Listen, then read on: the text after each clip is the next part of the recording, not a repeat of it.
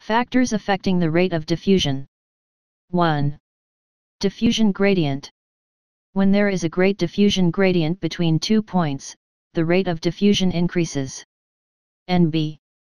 The diffusion gradient can be increased by increasing the concentration of the diffusing molecules or particles.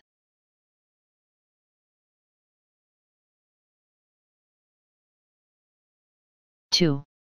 Surface area to volume ratio. The greater the surface area to volume ratio the higher the rate of diffusion and the lower the surface area to volume ratio the lower the rate of diffusion. E.g., the rate of diffusion is higher in small organisms because they have a large surface area to volume ratio and lower in larger organisms because they have a small surface area to volume ratio. Living organisms lose heat to the surrounding environment through diffusion hence small animals lose a lot of heat compared to the large animals. NB Small organisms therefore depend on diffusion alone as a means of transporting foods, respiratory gases, and waste products. On the other hand, large organisms have an additional transport system since diffusion alone as a means of transport of food and excretion is inadequate.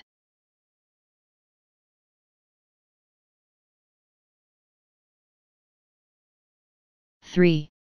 Thickness of membranes and tissues. The thicker the membrane, the lower the rate of diffusion. This is because the distance covered by diffusing molecules is greater through thicker membranes compared to thin membranes.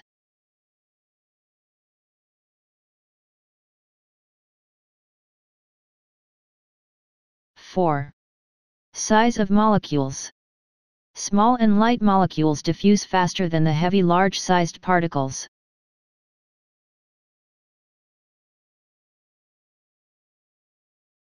5.